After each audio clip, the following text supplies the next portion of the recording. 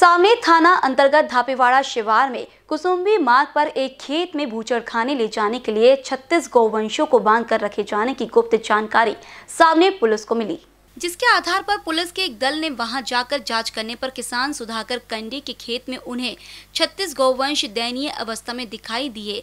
Police ने खेत मालिक से पूछताछ करने पर उसने उक्त गौवंश धापेवाड़ा निवासी एक युवक के होने की जानकारी दी। रविवार को दिन भर चली बारिश में सामने पुलिस के एपीआई सतीश पाटिल, दिनेश काकड़े, विजय पांडे, योगेश झोड़ापे और दिनेश गाडगे आदि ने अथक प्रयास कर सभी गौवंशों को वाहनों में लाद कर नरखेड़ स्थित श्री कृष्ण भगवान गौशाला पहुँचाया।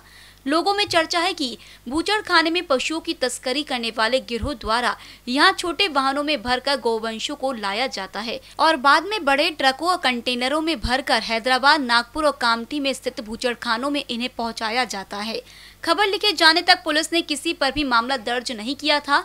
आगे की जाँच थानेदार मारुति मुलक के मार्गदर्शन में एपीआई सतीश पाटिल, दिनेश काकड़े आदि कर रहे हैं।